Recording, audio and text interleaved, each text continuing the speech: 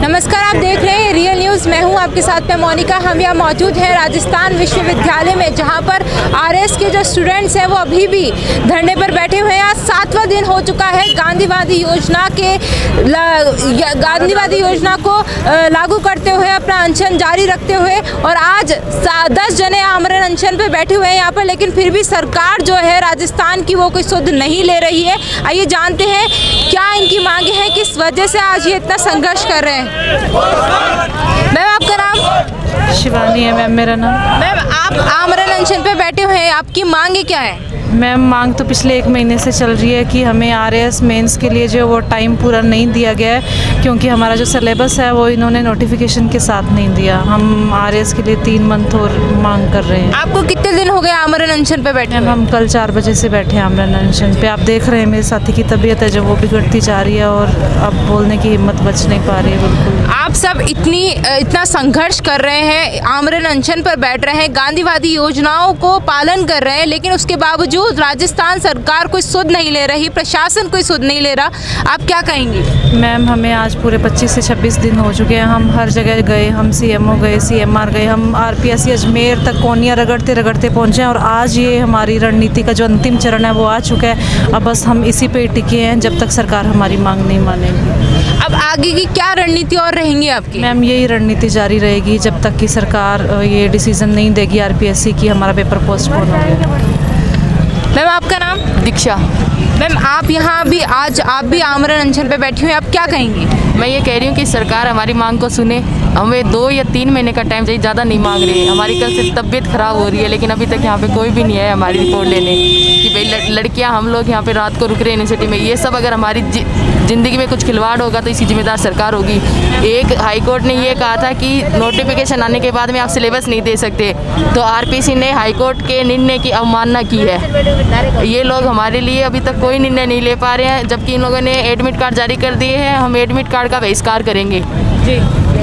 RPSC के, RPSC को भी आपने ज्ञापन सौंपा। आज आप आमरण अनशन पे ऐसी स्थिति बन गई है कि आज आप सभी आमरण अनशन पे बैठे हुए हैं तो आप क्या कहेंगी? मैं तो ये कहूँगी कि सर को, सरकार को हमें, हमारी मांगे जल्दी से जल्दी सुननी चाहिए। हम परेशान हो रहे हैं पिछले एक महीने सब हमें ये कहते हैं, आपका, हम, हो गया हो गया हो गया, हम सरकार से बात करेंगे, सीएम सर से बात करेंगे। हमें सीएम सर से बहुत उम्मीद है, अभी भी बहुत उम्मीद है कि हमारी बात ज़रूर सुनेंगे सर। हम लड़कियों की ज़रूर सुनेंगे, हमारे भविष्य के साथ खिलवाड़ हो रहा है, मर जाएँगे हम लोग तो ऐसे फिर। हमारा भविष्य ही ख़त्म हो जाएगा, अगर इन लोगों ने हमारी बात नहीं मानी तो। हमें तो लास्ट टाइम मिला है, अब टाइम नहीं मिलेगा मैम हमें लाइफ में कभी भी। अब लड़कियों को इतना ही टाइम मिलता है सर भी जानते हैं सर भी अपने मारवाड़ के उनको पता भी लड़कियों को कितना टाइम मिलता है और कब तक मिलता है। आप कहाँ से आई हैं? मैं हनुमानगढ़ से।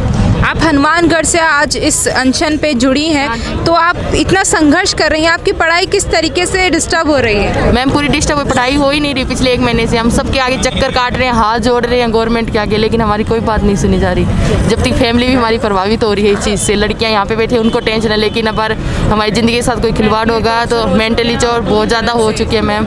अगर हमारे साथ कोई भी दिक्कत होगी तो सरकार जिम्मेदार होगी। अब हमारी शादी को आप देखिए एक बार कीजिए। आप देख सकते हैं कि यहाँ पर 10 जने ऑलरेडी यहाँ पर आमरण अनशन पे बैठे हुए हैं जिनमें से एक की जो हालत है वो गंभीर होती जा रही है। उसके बावजूद गांधीवादी योजना का पालन करने वाली सरकार कोई सुध नहीं ले रही। आज ये हालात बन गए हैं राज्य के अंदर किस अभ्यर्थियों को छात्रों को अपनी मांग मनवाने के लिए धरने पर बैठना पड़ रहा है अनशन पर बैठना पड़ रहा है। उसके बावजूद सरकार की तरफ़ से कोई प्रतिक्रिया सामने नहीं आती है। आज हम लोग दस लोग बैठे जिसमें से चार लड़कियाँ और छः लड़के अनशन पे बैठे लेकिन अभी तक हमारे पास कोई भी नहीं आया जी।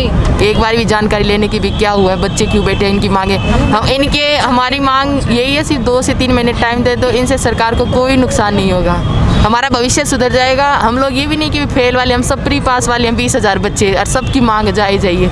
जैसा कि रीट परीक्षा को लेकर एक तरफ़ विपक्ष सरकार भी है, जो कांग्रेस सरकार के खिलाफ प्रदर्शन कर रही है। क्या आपके मैटर के अंदर भी कोई विपक्ष, कोई प्रशासन या कोई बड़ा आदमी आके आपको कोई आपको कोई संवेदना आपके सामने प्रस्तुत किया है? मैम, कांग्रेस और बीजेपी का हमें कोई लेना देना नहीं है। हमें हमारी मांग है। हम स्टूडेंट हैं। हम मेहनत मजदूरी करते हैं हमारे घर वाले। हमें और किसी राजनीति चच्चर में हमें नहीं पढ़ना बिल्कुल भी। ना हम राजनीति चच्चर को जानते हैं, ना हमें कोई लेना देना है। हमें सिर्फ़ अशोक सर से विनती है कि वो हमारी मांग सुने और वो सुनेंगे हमेशा की तरह। हमेशा सुनते हैं तो वो इस बार भी सुनेंगे। हम जब तक सर हमारी मांग नहीं सुनेंगे, हम तक यहीं बैठे रहेंगे लड़कियाँ सब। कुछ भी नहीं खाएँगे, पानी भी नहीं पियेंगे अब से। जी। हमने जब से अपना मूवमेंट स्टार्ट किया हमारी हम एक ही रिक्वेस्ट कर रहे हैं कि हमें किसी भी पार्टी से ना जोड़ा जाए। हमारा पॉलिटिक्स से कोई रिलेशन नहीं है। पॉलिटिक्स के लिए सारी उम्र पड़ी है। हम कर लेंगे जब करनी होगी। ये हमारे पढ़ाई के तीन चार साल हैं जो हमें घर वालों ने दिए हैं। नेक्स्ट चांस गर्ल्स को तो ये भी नहीं पता सेकेंड चांस भी मिलना है या नहीं। इसलिए हमारी गुजारिश है अपनी संवेदनशील सरकार से कि वो हमें समय दे। सर आपका नाम? मेरा नाम राम निवास। सर आप कहाँ से आए? जोधपुर से। सर आज आप इस आमरण अनशन पर बैठे हैं आप क्या कहेंगे? हम अपनी हमने सारी अपनी पूरी कोशिश जो गांधीवादी तरीके से करनी थी वो हमने कर ली है लेकिन सरकार की तरफ़ से हमें कोई सकारात्मक रिप्लाई नहीं मिल पाया है। तो अब हमारे पास हमें मजबूरी हो हम मजबूर हो चुके हैं क्योंकि एडमिट कार्ड कल इन्होंने जारी कर दिया। अब हमारे पास और कोई रास्ता नहीं है। हम आमरण अनशन पर बैठे हैं और जब तक हमारी मांगें पूरी नहीं की जाएगी तब तक इस ये कारवा बढ़ता ही जाएगा। आपको क्या लगता है कि सरकार आपकी मांग सुनेगी? बिल्कुल सरकार अगर हमारी हमारी चुनी हुई सरकार है तो हमारी मांगे हंड्रेड परसेंट सुनेगी, क्यों नहीं सुनेगी? लेकिन उनको कुछ लोग हो सकता है गुमराह कर रहे हो कि इनकी मांगे जायज़ नहीं है। ये लोग ऐसे ही पॉलिटिक्स गैंग्स है। हमारे, हम सबने प्री पास कर रखा है। यहाँ पर ऐसे ऐसे लोग हैं जिनके 136 नंबर है आउट ऑफ़ 200 प्री में। और वो यहाँ बैठे हैं। क्योंकि उनकी पूरी प्रिपरेशन नहीं हो पाई, उन्हें सफिशियंट टाइम नहीं मिल पाया है। हर किसी को मौके बार बार नहीं मिलते। जिसने इस बार प्री पास किया ऐसा ज़रूरी नहीं है वो अगली बार भी पास करे। और वो अगली बार का वेट क्यों करे? वो इस बार क्यों नहीं चाहे कि वो एडमिनिस्ट्रेशन में जाना चाहे? जी। आपने आरपीएससी को ज्ञापन सौंपा, आपने राजस्थान सरकार को ज्ञापन सौंपा, उसके बावजूद कोई प्रतिक्रिया सामने नहीं आई। आज आप आमरण अनशन पर बैठे हुए हैं यहाँ पर तो आपको लगता है कोई प्रतिक्रिया सामने आएगी?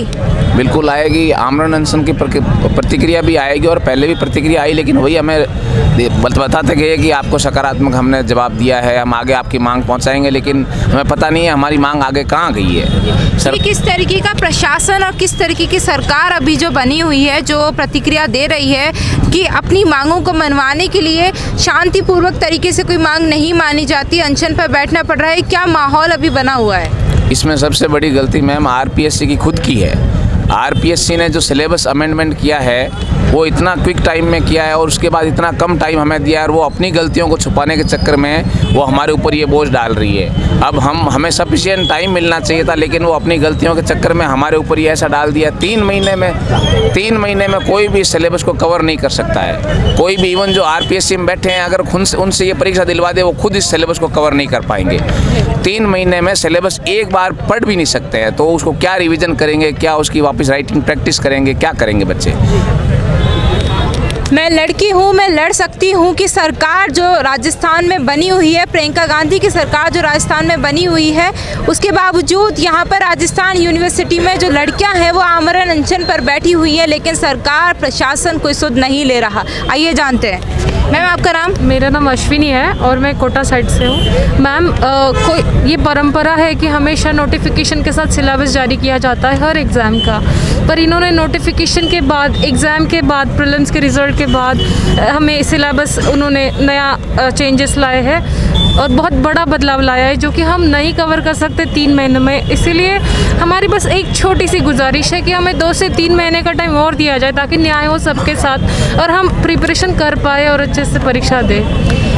क्या सिलेबस की प्रॉब्लम है? क्या सिर्फ़ अपने अपने ये इसको पोस्टपोन करवाने की मांग है? क्या एक्चुअल प्रॉब्लम है जिस कारण आप इतना तीन महीने का वक्त मांग रहे हैं? मैडम सिलेबस में बहुत बड़ा बदलाव लाया गया है। साइंस सब्जेक्ट में 50 60 परसेंट चेंजेस लाए गए हैं मैनेजमेंट में चेंजेस लाए गए अकाउंटिंग जैसे स्टैटिक सब्जेक्ट डाला गया है मैम वो- वो तैयार करना मैम सिर्फ़ साइंस का अगर स्टैटिक पार्ट कवर करने हम जाए तो दो महीने का टाइम लगता है। और यहाँ उन्होंने 50 परसेंट के अराउंड सिलेबस बदला है। तो मैम वो इम्पॉसिबल है तीन महीने में कवर करना। जी। तो यही बस और इसीलिए सारे अंडर प्रिपेयर्ड है। किसी की भी प्रिपरेशन नहीं है। और यहाँ काफ़ी इंटेलिजेंट लोग बैठे हुए हैं जिन्होंने ऑलरेडी बहुत सारे एग्ज़ाम्स निकाले हुए हैं। जिन्होंने प्रिलिम्स में ही 136 120 अबव मार्क्स लाए हुए गंभीर विद्यार्थी यहाँ बैठे हुए।